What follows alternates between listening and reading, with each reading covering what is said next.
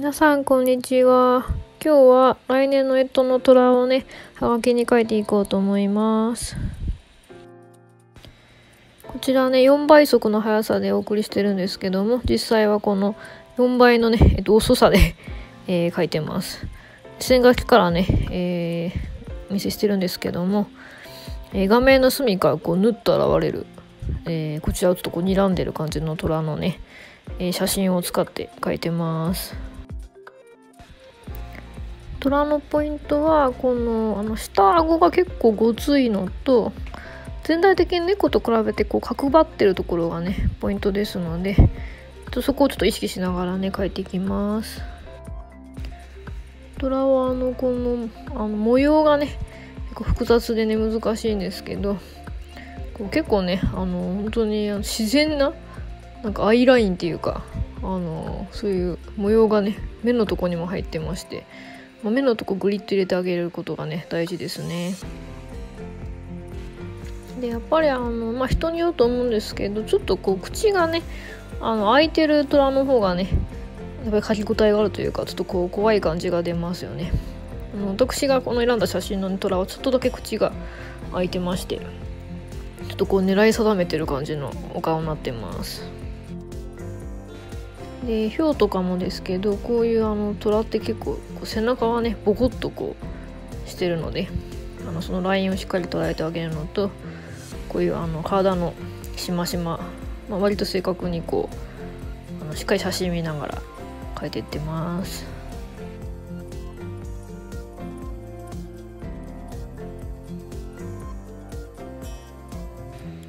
あとあの虎のあの前足とかまあ後ろ足のこの指ですね結構あのごついのでこうすごいあの強そうな感じをしっかりこう角張らせて描いてあげることが大事ですね。はい、あとあの耳のとこもちょっとこう反り返っててちょっと猫とはちょっとこう似てるようで違う感じの形ですね。虎のこの体の模様もあのむやみやたらに入ってるんではなくて結構体に沿ってあの体の中心に沿ってこう分かれたりとかするのでしっかりそこを見てあげますね。はい、で横にこうとらってこう漢字を入れようと思います。はい、線書きができましたらピグマペンで、えこの線を、え、強くシャープにしていく作業ですね。え、これをするのとしないのでは全然違いましてあのこうシャープにえー、かっこいい感じになりますので、えー、まあ、特に虎とかあの形結構複雑ですのでペンで先に書いとくのがおすすめですね。で、えっと、このペンを入れる時も一応こう写真をこうあの見比べながらあのちょっとこう答え合わせするような感じで一応こう場所とか位置を確認しながら、えー、上から鉛筆の線をこうただなぞるだけじゃなくて写真を見ながら描いていきます。えー、本当はあの虎のひげは白いんですけど今回は虎だけを描きますので勢いのある線でシャープにひげを入れていきます。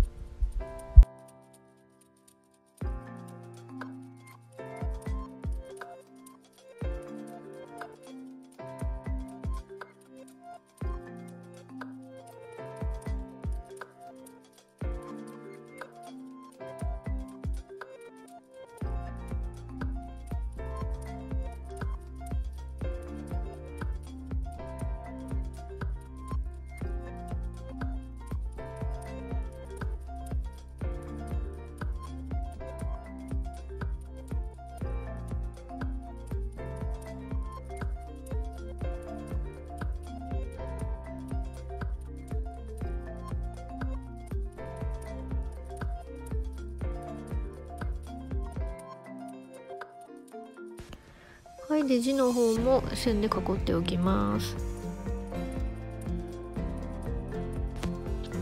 で、えー、水彩で塗る前に、えー、ちょっとこの邪魔になるね。鉛筆の線を消しておきますね。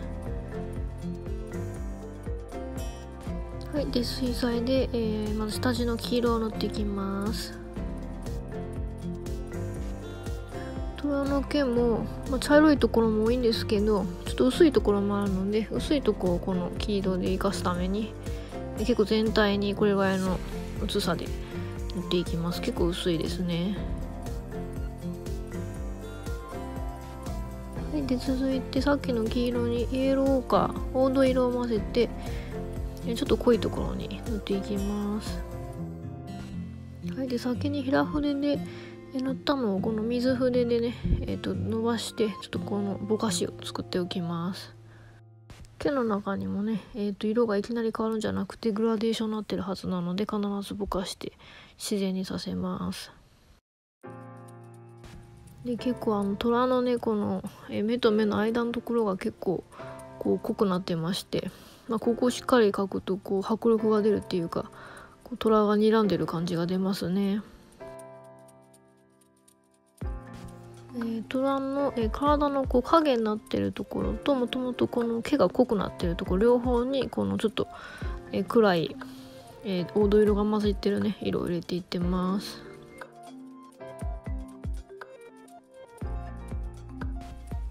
次はこの細い筆でバンと線な茶色が混ざった色を細かく入れていきます毛のタッチをね細い筆で出せますので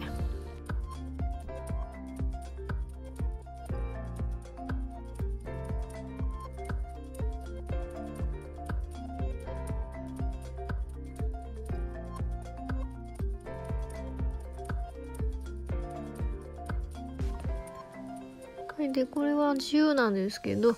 えー、虎のこのどっしりした重さを出すためにちょっと影をね軽く入れます。これはあのオレンジと、えー、藍色をね混ぜた色ですね。あの虎が黄色いので、えー、ちょっとこう反対の色青とかちょっと混ざったような色も入れてます。これで鼻のところに若干こうピンクみたいな色が入ってましてあと口の中がちょっと赤いので軽く入れます。はい、でこのまあ字とかもねあの本当に感性によって別に青とかでもいいんですけどあのまあ虎ですのでそのまま黄色を使いました、はい、最終チェックでもう一度ちょっとこの自然にぼかしたりとかします。はいちょっとこれミスですね。ちょっと足のこう紐書くの忘れてたのでもう一回この水彩の上から書いたりもできます。はいでもうちょっとこう濃いとことか影のところですね。足りないところもう一回チェックして入れていきます。はいそろそろ完成です。はい、えー、今回水彩とペンを使った、えー、虎の年賀状でした。ありがとうございました。